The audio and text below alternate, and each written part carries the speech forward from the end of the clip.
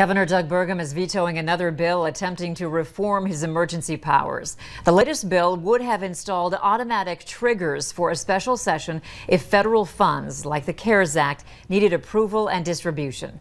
If the state received a federal package worth less than 3 million, the Emergency Commission could have approved its use without changes from lawmakers. If the package were 3 million to 50 million, the budget section could approve and change where the dollars go. If a federal aid package is worth more than 50 million, state lawmakers would have required uh, a special session. North Dakota lawmakers are expected to wrap up their work by the end of the week. Some of the late changes to bills are echoes of previously failed efforts. Lawmakers inserted an amendment banning vaccine passports in North Dakota, with exceptions for healthcare providers and airports. Some were hesitant to take on the amendment because it takes away a business's ability to decide for itself. I know we're all worried about can I get on the plane. We can't affect that.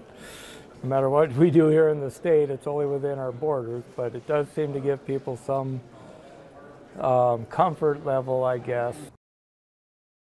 The committee voted unanimously to add the ban after saying it balances the rights of businesses and the rights of the person. The House failed a late bill that tried to do the same thing. That attempt needed two-thirds majority to be considered. This latest attempt only requires a simple majority from both chambers. The Bison are headed back to Texas, but not to Frisco, at least not yet. Up next, what they have planned for this weekend's game in Huntsville.